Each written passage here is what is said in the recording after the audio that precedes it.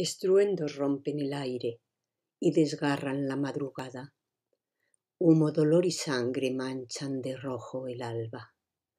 Transporte menesteroso, sarcófago de cercanías, vagando por los raíles se escuchan las letanías. Hombres con sueño vencido, niños de escuela temprana, mujeres de vientre vivido murieron por la mañana. Un Dios que desconocemos y cuyo nombre invocaban, guió la mano asesina de una matanza temprana. Monótona cae la lluvia extendiendo su tristeza, que silencia y acongoja todo cuanto nos rodea. Las gotas se multiplican y forman ríos de agua, corrientes de húmeda pena con lágrimas que ya no empapan. Todos nos fuimos un poco en los idus de aquel marzo, de un Madrid acurrucado, inconsolable en su llanto. El poema que acabamos de leer fue escrito por José Luis López García y sacado de los miles de poemas que se escribieron tratando de expulsar el dolor de aquel fatídico 11 de marzo de 2004. Gracias, Juana. Es impactante. Impresionante. Bueno, hoy hablamos con Aurora Cuadrado, que es autora y guionista del libro Dolor y Memoria, promovido por la Fundación Fernando Buesa y el Centro Memorial de Víctimas del Terrorismo, y que reúne eh, los relatos de nueve personas afectadas muy de cerca por un mismo fenómeno, el terrorismo. Y también está con nosotras eh, Daniel Rodríguez, dibujante eh, de cinco de las nueve historias que aquí se cuentan. Bienvenidos a ambos, Daniel, Aurora. Hola. Muchas gracias. Bueno, cuando... el libro. Sí. El libro y en euskera. Cuando me regalaron el libro, eh, lo primero que me sorprendió es que habéis usado el formato de cómic para contar historias terribles, o sea, historias de dolor. Entonces, eh, yo quería preguntar a Daniel, para, abrir la entrevista, ¿por qué habéis decidido usar este formato? Bueno, pues el formato cómic, mm, como el encargo viene, como bien has dicho, de, es un proyecto que nace de, la Fundación Buesa y, y, del Centro Memorial, lo que querían es utilizar un lenguaje que se acercase más bien a generaciones jóvenes, aunque el cómic obviamente es para todo el mundo, pero principalmente se, eligió ese, formato de cómic y ese lenguaje para acercarse a, enseñanza secundaria obligatoria sobre todo. La lectura del libro nos ha activado la memoria, la memoria con hechos tan terribles como el asesinato de los abogados de Atocha, Atocha 55, por un comando de ultraderecha, el secuestro y asesinato de Pludio Cordón a manos de los Grapo, eh, atentados varios de, ETA, los atentados del 11M, eh, perpetrados por el fundamentalismo islámico. Em, Aurora, el terrorismo es de, cualquier signo político, ¿no? ideológico, religioso. Pero ¿qué elementos tienen en común todos estos actos y cómo, cómo definirías tú el terrorismo?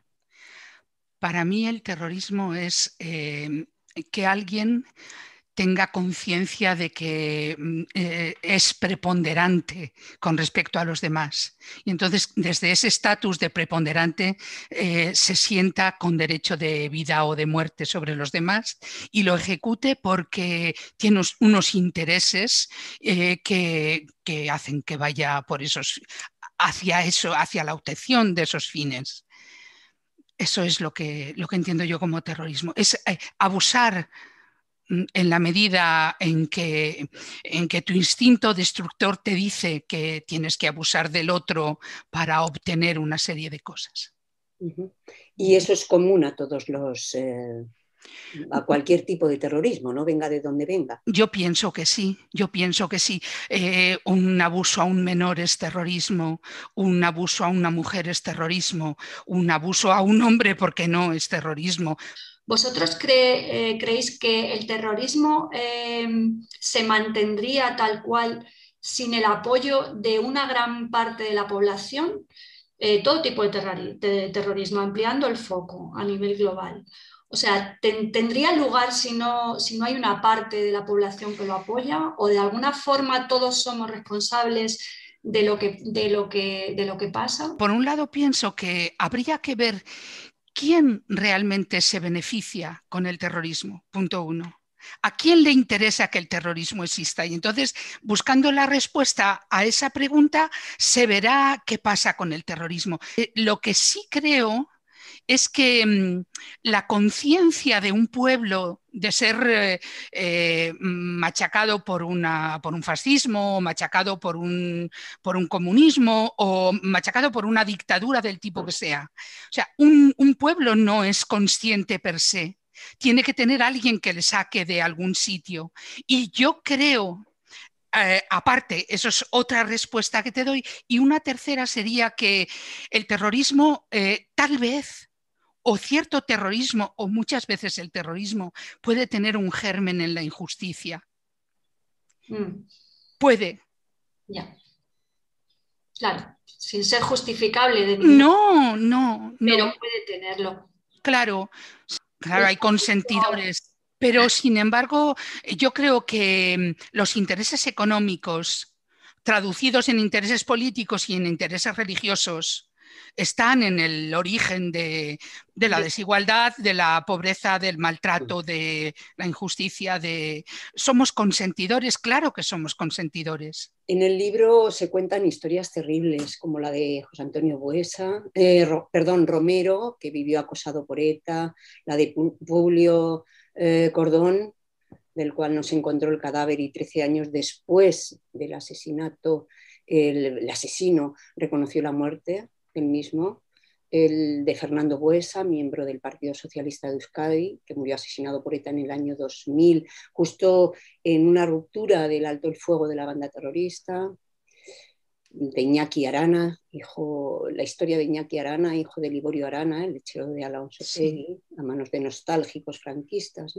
Cuenta cómo, eh, Iñaki cuenta cómo fueron omitidos, ignorados, como terrorismo de segunda y como muchos años más tarde fueron reconocidos como víctimas. víctimas. Daniel, cuéntanos cómo, qué ha significado para ti ilustrar estas historias, ¿no? cómo lo has hecho, eh, cómo te has documentado, has ido a lugares concretos. Son, son historias duras todas, da igual el atentado que haya sido, ¿no? pero pero se te revuelven las tripas a la hora de dibujarlo bastante. Mm, con las indicaciones de Aurora, pues bueno, y conociendo la historia, investigando, pues más o menos lo vas sacando, pero, pero por ejemplo, esta, esta versión, digamos, de, o, este, este terrorismo parapolicial, yo no lo conocía mucho. Volviendo al de Alejandro Ruz Huerta, al de los atentados de Atocha, ahí sí que investigué mucho más, sobre todo con la película que hicieron nada, al par de añitos era la transición y justo hicieron la película y además hubo mucha controversia con las escenas. Hay escenas reales en la película incluso de los famosos sofás del, bufete, ¿no? Y, claro, las grabaciones son súper explícitas y, nada, investigando pues eso, documentos originales, fotografías, a través de Aurora hablando con, con ellos, espero que para las generaciones nuevas vayan, vayan viendo qué cosas han sucedido. Además, está, como está en orden cronológico, pues se puede ir aprendiendo un poquito lo que pasó desde la transición. Eh, yo le quería preguntar a Aurora, eh, por ejemplo, en el caso de Cristina Cuesta, ETA asesinó a su padre de un tiro cuando ella era una niña, pero Cristina ha dedicado su vida a luchar contra el odio y contra el miedo. Eh, ahora mismo da charlas en institutos explicando, por ejemplo, que las víctimas también luchan, eh, o sea, lo que son las víctimas del, del, terrorismo también luchan por una justicia democrática que respete los derechos de los asesinos. O sea, ahí es nada. Sí. Le quería preguntar a Aurora eh, qué importancia tiene la educación en estos temas. A mí me parece que el aprendizaje es primordial y yo creo que el aprendizaje es algo compacto. En el aprendizaje pues de, cualquier área lo haces global y humano, pues eh, tu vida será otra, porque es el conocimiento el que nos hace libres esencialmente. Si no sé nada, si no tengo un reflejo, si no tengo una crítica que hacer a mi pensamiento, pues voy a estar muy, mm, muy sometida a lo que venga de fuera. Entre 1970 y el 2018, el terrorismo de diferentes signos en España ha acabado con la vida de alrededor de 1.300 personas y ha dejado unos 5.000 heridos. Entonces, sí, bueno, la pregunta iba dirigida un poco a si los heridos son los olvidados de la justicia o si una sola indemnización, que normalmente es lo que se hace con, con los heridos, ya es una forma de reparación. No sé, ¿qué opináis vosotros? A mí me parece que esta respuesta solo puede ser jurídica o, del ámbito del derecho. Yo no, no, tengo capacidad para responder a eso. Sí que te puedo decir, eh, llevando las cosas a cómo entiendo yo la problemática, eh, no solo por ser herido eres víctima. Eres víctima si eres amigo, si eres hermano, si eres padre, si eres madre, si eres hijo, si eres eh, vecino, si eres solidario entonces eres víctima de muchísimas maneras y creo que mm, la única peineta que se le puede hacer al terrorismo, la única peineta que se le puede hacer realmente al terrorismo es salir fortalecido, salir resiliente. No hay más, no hay más. La venganza no es el camino. Y, la justicia, entendiendo por justicia lo, humano que se hace con las leyes, tampoco es el camino. El camino es que una persona, eh, por ejemplo, Alejandro Huerta, que murieron junto a él, eh, no sé si eran cinco los que murieron y sobrevivieron tres, eh, él eh, le disparan, el disparo eh, repercute en un bolígrafo que le acababan de regalar que tenía, bueno, y, un cadáver cae sobre él y entonces sobrevive. no estaba herido, bueno, sí, estaba um, herido, pero no de muerte quiero decir. Esa persona solo tenía dos opciones en la vida, ser un mierda o ser extraordinario. No había un término medio y decidió ser extraordinario. No, no fue una decisión así, fue una decisión de eh, tengo que poder con, esto por ellos y por mí. Y tengo que salir de esto con una amplitud de miras, con, un, con una búsqueda eh, más amplia de lo que es eh, lo moral, lo colectivo, lo, lo igual, lo igualitario el mal, el daño. Eh, solo quien sufre, dice, ay, se me ha olvidado el poeta, dice, llegué por el dolor a la alegría.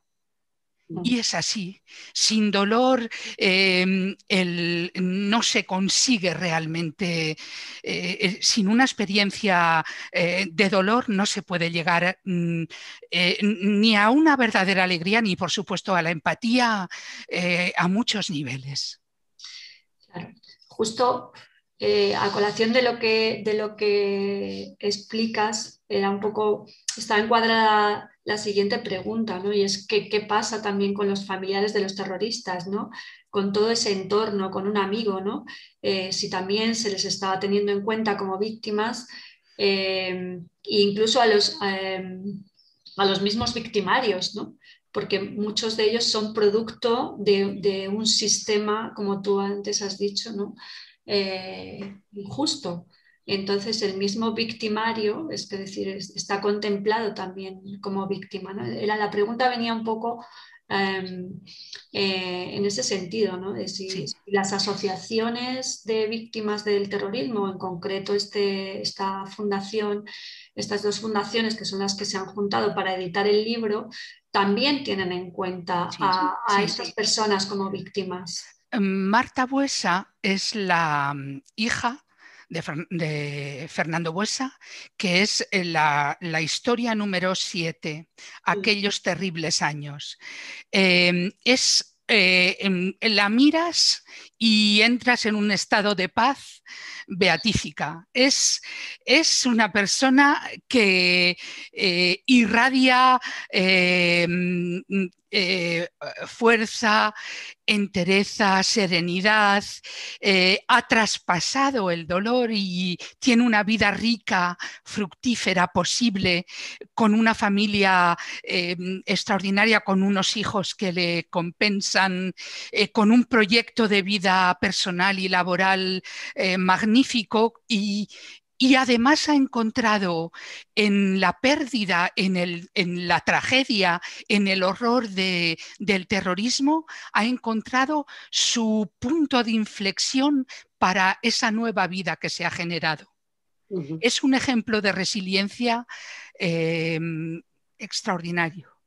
Eh, mm, Alejandro Ruiz Huerta eh, es lo mismo. O sea, toda la gente con la que he podido hablar y con la que he hablado para este asunto, resulta que son personas eh, nuevas y únicas y e increíblemente mejores a lo que uno pueda sospechar que alguien puede ser es posible entonces, porque el libro realmente es un, es un, canto a la reconciliación, ¿no? Em, y además de, o sea, en, estos casos que comentas y todos los demás que aparecen en el libro, ¿no? Em, se deduce que es posible superar la venganza, porque vivimos en una sociedad donde la base está en el resentimiento y la respuesta, la venganza, incluido el sistema legal que tenemos, ¿no? La legislación, el sistema legislativo que tenemos, etc. Deducimos entonces que es posible superar la venganza, ¿no? que es posible llegar a una reconciliación profunda. ¿no? Si habéis estado en contacto, si estáis en contacto con, el que entiendo que es así, ¿no? con, tantas víctimas del terrorismo y de otro tipo de terrorismos como tú planteas, Aurora, ¿cómo entendéis vosotros qué, hacen para superar la venganza y además trabajar por la reconciliación. Si no te importa, o si no importa profundizar en esto que comentabas, ¿no? de, Marta Buesa. Eh, me parece que es muy interesante ¿no? Eh, que, profundicemos en estos temas mm, de cara a todo el mundo, ¿no? de cara no solamente a, los chicos en, sistemas educativos, en el sistema educativo, en, en, centros educativos, sino en general, ¿no? para toda la sociedad como para superar la sociedad de violencia en la que vivimos, ¿no? Y pasar a otra cosa también. ¿Cómo os parece? ¿Cómo os parece que hacen ellos o cómo habéis visto que hacen? Yo sí, ahora te dejo, Aurora, porque tú has estado más en contacto con ellos. Y fíjate, yo tengo aquí un apunte de Marta Huesa que me apunté para otras, otras presentaciones que hemos hecho y me apunté su nombre, el año en el que fue, 2000, y luego puse tristeza, orientar la rabia que es lo que viene más o menos comunicándonos Aurora. Y, ya está, y volcarse, pues eso, en la, convivencia por la paz. Y eso es lo creo lo que tiene la, lo que nos falta ahora, ¿no? Como tú dices, eh, Juana, que es que estamos todo el rato discutiendo y sobreponiéndonos y venga ahora una revancha y otra revancha y, hay que parar en algún momento porque mm, es difícil eh, aceptar a lo mejor, yo no lo sé porque no soy víctima directa, ¿no? Porque pues yo qué sé, a lo mejor el atentado, los atentados en Madrid, dices, pues mm, te toca un poquito más, has pasado por Atocha, por esos barrios, pero no, pero una víctima directa, familiar o amigo, sí que tiene que ser complicado el proceso, pero, pero debe ser tal el, golpe y tienes que saber darle la vuelta y hacerlo en positivo, que eh, ahí, ahí está el truco, eh, pero vamos, lo estoy diciendo a la ligera y claro, y sin, sin saberlo de primera mano. ¿No? pero es terriblemente sensato y además es cierto. O sea, eh, solo, eh, vamos a ver, imagínate el, el holocausto, ¿no? Que cuando decimos el holocausto ya sabemos el que es, aunque ha habido muchos genocidios a los que no llamamos holocausto y que han sido igual de holocaustos. Y además cuando se muere tu hermano es un holocausto terrible porque se te muere pues un cuarto de la vida en mi caso sería y la mitad de la vida en otros casos, etc. Em, hay dos opciones. Eh, o sea, la gente que sobrevivió a los campos de concentración, por ejemplo, si nos damos cuenta de toda la producción artística que eso ha podido generar, ¿Por qué? Porque lo han sublimado.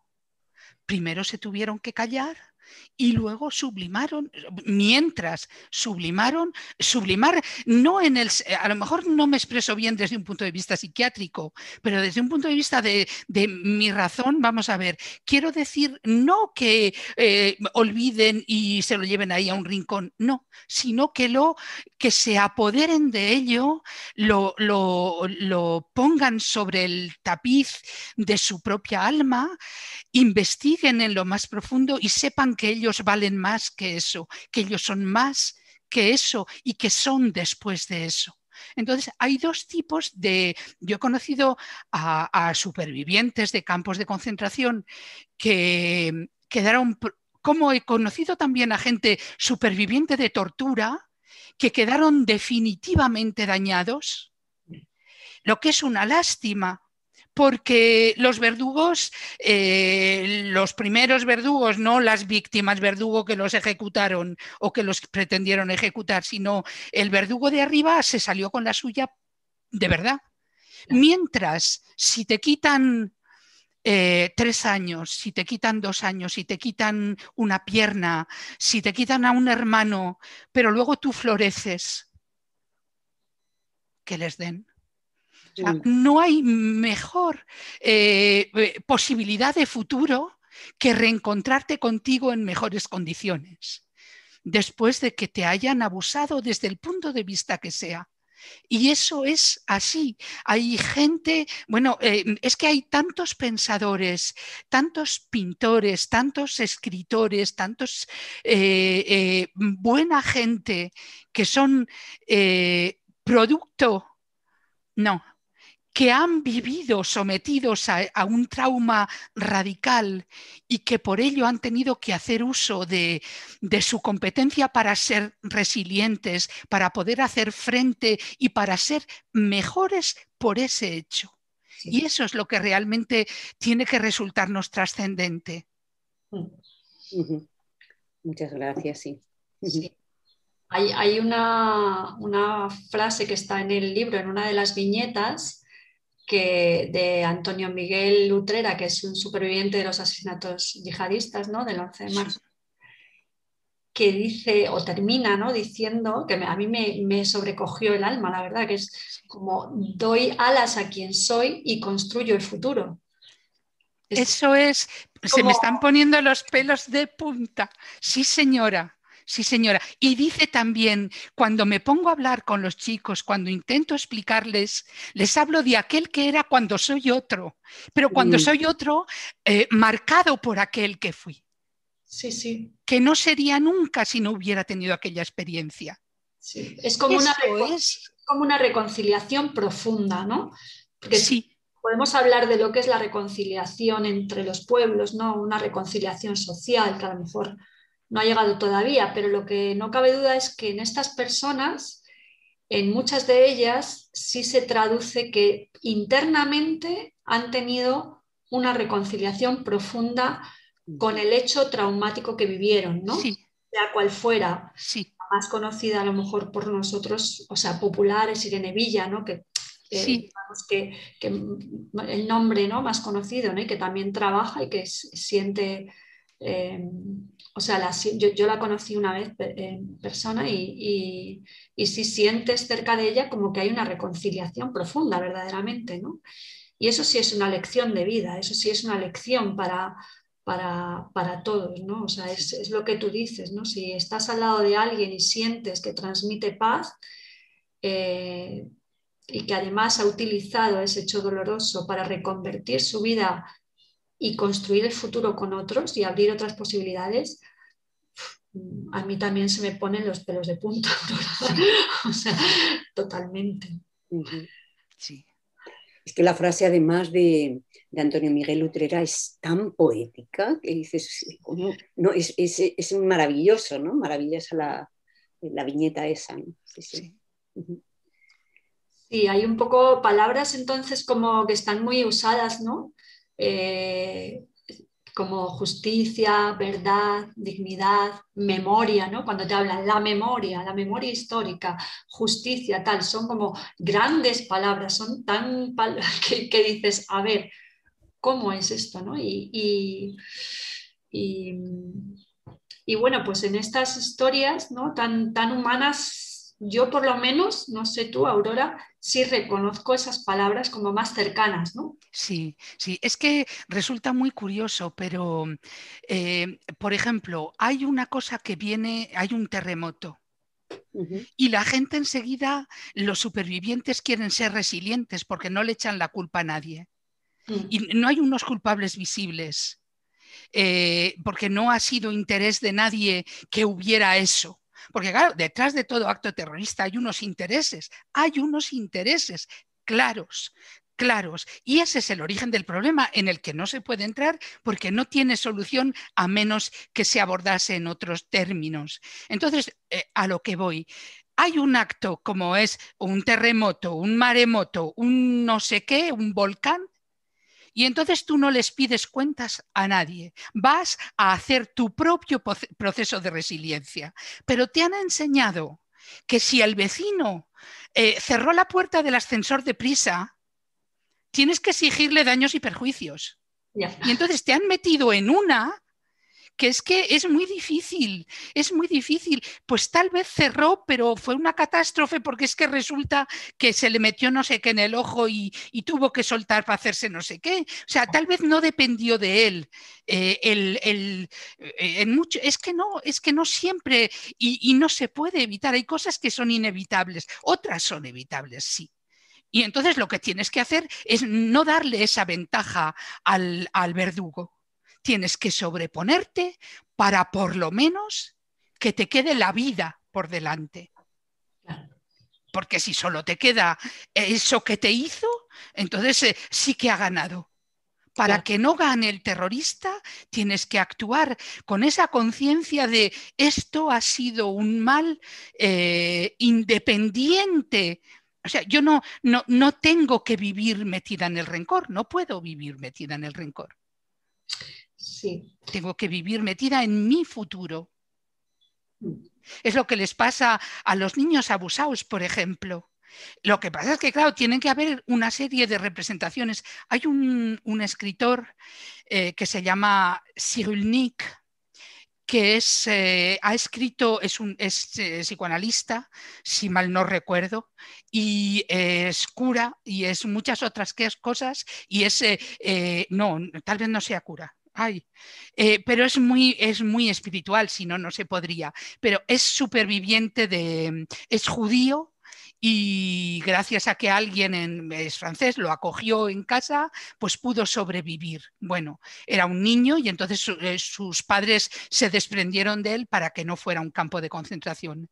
Este señor ha escrito mucho, mucho, mucho, mucho sobre la resiliencia y cómo eh, pues la manera de, sobreponerse al miedo es hacerse valiente, la manera de, de sobreponerse al dolor es hacerse alegre, manera, siempre hay que ir a, esa, a esa, búsqueda de, mm, voy a sobrepasarlo y voy a, yo digo sublimarlo, aunque creo que psiquiátricamente no es el término bueno, pero voy a hacer de la necesidad virtud. Mm. Sí, justo mm, eh, con respecto a eso que dices, Aurora, el, tema de las fundaciones, ¿no? por ejemplo, en el caso de, de, la Fundación Fernando Buesa, el Centro Memorial de las Víctimas del Terrorismo, que han, trabajado en colaboración ¿no? desde el 2017, eso he leído en el libro. Eh, ese es un poco el fin de las fundaciones, porque a veces tenemos como la fotografía esta de la televisión, ¿no? de la Fundación de Víctimas del Terrorismo, tal, no sé qué, y destapan una plaquita o hacen una conmemoración ¿no? en una fecha señalada en donde ha pasado algo. Pero yo he abierto Em, bueno, las páginas web de estas fundaciones y tienen un trabajo inmenso. O sea, no es la plaquita y hoy recordamos a, no sé quién. O sea, es un trabajo horizontal y que se dirige, eh, se dirige a muchos campos, no, no solo al, campo del recordatorio ¿no? o al campo de la memoria. Sí, pero es como todo y como siempre. Hay, em, eh, sin duda, fundaciones que van a ser pues una plataforma para unos intereses poco justificables. Pero eso ya lo sabemos que existe. O sea, no nos vamos a hacer ahora los ingenuos. Y Mm. luego hay otras fundaciones que son extraordinarias. O sea, Claro. es, todo depende, es que todo depende. Claro, yo a mí me ha llamado la atención al, al abrir estas, estas páginas y ver el- la- la- todos los campos que tocan. Claro, claro, porque, claro, claro, lo que recogen y el bien, o sea, hacia dónde está dirigido. claro, o sea, que- claro.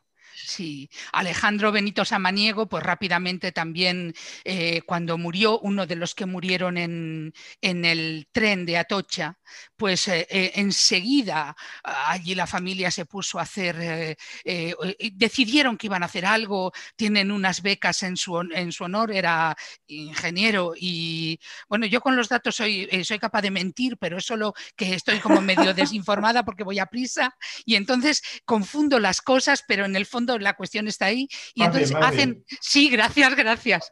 Hacen becas de, de, eh, para dar ánimo a, a eh, científicos y así. Y bueno, pues hacen cantidad de cosas en honor de su hermano. Y se titula, esa, ese- esa historia en concreto se titula Caminando juntos porque dice que jamás, jamás, jamás la presencia de su hermano dejará de estar a su lado. Ay, sí, es precioso. Y, y eso es así, eso es así. Entonces, ¿cómo le va a, merecer la pena tener una vida de amargura? Quiere que el recuerdo de su hermano y que la vida de su hermano florezca y que, y- y- y que todo eso sea un estímulo para, para los demás, para el aprendizaje colectivo. La verdad es que son historias de esperanza, son una maravilla, ¿no? Sí, Son una maravilla. sí. ¿Dónde se puede conseguir el libro? Eh, Pues, eh, eh, dadnos datos de lo- del, de lo- del libro, por favor, Pues el, el libro en, para que todo el mundo lo vea. en las grandes plataformas que todos conocemos, pero se puede buscar en la página todostuslibros.com y ahí tienes un mapa con todas las librerías que tienen o que lo pueden solicitar o pedirlo. Y está editoriado por, editoriado por Sauré. Mm. Y, y sí, sí, en, en realidad eh, en esa página se pueden encontrar todos los puntos de la geografía. Luego, a nivel internacional, pues supongo que sí, que se pueden hacer pedidos en las grandes plataformas, por si alguien nos está viendo del extranjero. Sí, eh, para, mm, para ayudar o, o poder difundir a nivel educativo, yo, yo soy educadora, entonces me, ¿cómo es? ¿Hay que contactar con la fundación? Eh, ¿hay gente que, que ayuda en el tema de las charlas para ir a institutos? ¿O cómo es el proceso? Yo creo que a lo mejor hablando con la editorial directamente se puede, ¿verdad? Mm, Sí. ¿Cuál es la editorial? Saure. Ajá. sí. Eh, no sé si nos podéis enseñar el libro, si no lo enseño yo, pero Enséñalo tú, enséñalo eh, tú. a ver, a ver. Sí. eh, lo que pasa es que, a ver, no sé, no sé si se, me- se ve. Sí, A ver, ok, bueno. No sé si Sí. queréis sumar algo, comentar alguna cosa más. Eh, mm, eh, quiero decir que se llama dolor y memoria, Sí, porque dolor es lo que vives y la memoria de lo que has vivido como dolor es lo que hace de ti el ser nuevo que eres. Por eso se llama dolor y memoria. Pues te agradecemos, bueno, a ti, a, a Daniel y a los otros dibujantes que no han podido estar aquí hoy con nosotros, pero que Sí, yo siempre los nombro por, por compañerismo. Tengo, eh, los otros sí. son Alfonso Pinedo, Carlos Cecilia y Fran Tapias, los que han hecho las otras historias. Muy bien. Muchas gracias. Muchas gracias a, a los dos, en gracias a, a las fundaciones también. Y con este acento puesto en la reconciliación profunda, personal, pero también esperemos que poco a poco de los pueblos y que esto sea un ejemplo de inspiración como para pasar a una nueva cultura de reconciliación y de paz. Eh, bueno, este, con este canto a la esperanza y a la reconciliación terminamos esta entrevista y agradecemos profundamente vuestro trabajo A vosotras, muchas de gracias. concienciación dirigido a la memoria colectiva, a la justicia y a la paz. Muchísimas gracias. Muchísimas vosotros. gracias. Gracias. Sí. gracias.